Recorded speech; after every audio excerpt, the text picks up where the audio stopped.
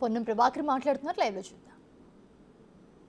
Doctor Babasaheb Ambedkar గారు ఆ పక్కనే దేశానికి ఉక్కు మహిళగా ఉన్న ఇందిరాగాంధీ గారు ఆ పక్కనే ఆర్థిక కోవిదుడు ఆర్థిక శాస్త్రవేత్తగా భావించే పివి నరసింహరావు గారు ఇటు పక్కన అమరవీరుల యొక్క స్తూపాలు ఎదురుగా అంబేద్కర్ గారి సచివాలయం ఇటువంటి కూడలిలో ఈ దేశ సంపదను ఆయన యువతకు ఒక మార్గదర్శిగా నిలిచినటువంటి రాజీవ్ గాంధీ గారి విగ్రహాన్ని పెట్టుకోవడం ఇది ఒక అద్- అదృష్టంగా భావిస్తాను ఒక యువకుడిగా.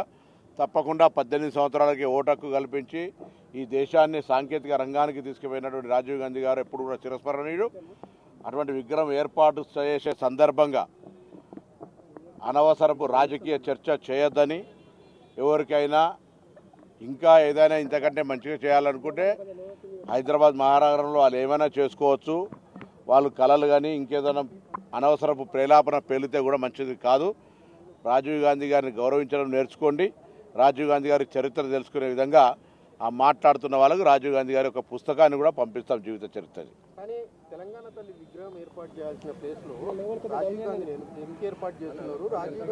ఇప్పుడు తెలంగాణ తల్లి విగ్ర టీఆర్ఎస్ వచ్చిన తర్వాత దీన్ని కూల్చేస్తాము అరే ఎవడి దమ్ముంది? టచ్ చేసి చూడమని చెప్పు. అధికారం లేకపోతే కూడా కాంగ్రెస్ ఏమన్నా బలహీనపడే పార్టీ లేకపోతే అధికారంలో వాళ్ళు ఏమైనా శాశ్వతం అనుకుంటున్నారా?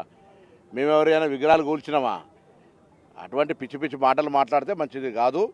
మర్యాదగా పది సంవత్సరాలు అధికారంలో ఉన్నటువంటి ప్రభుత్వాన్ని నడిపిన వ్యక్తులుగా గౌరవపూర్వకంగా మాట్లాడాలి. కూలగొడతాం తొలగొడతాం అంటే అంతకంటే ఎక్కువ చేయగలిగే శక్తి కాంగ్రెస్ పార్టీకి ఎవడు పెట్టే అవసరం నేర్పేది. అందుకే మళ్ళీ చెప్తా ఉన్నాం. రాజీవ్ గాంధీ గారు ఒక శక్తి. కాంగ్రెస్ పార్టీకి సంబంధించినటువంటి ప్రతి కార్యకర్త కుటుంబ సభ్యుడిగా భావించుకున్నటువంటి విగ్రహంకు దగ్గర కూడా దరిదాపలు కూడా రాలేరు కానీ ఈరోజు తెలంగాణ తల్లికి సంబంధించి పది సంవత్సరాల ఆన్ పార్ విత్ సెక్రటరీ ఘట్టంగా ఇవ్వడం అద్దనడా ఆ బుద్ధి ఎందుకు లేదు? ఆ జ్ఞానం ఎందుకు లేదు?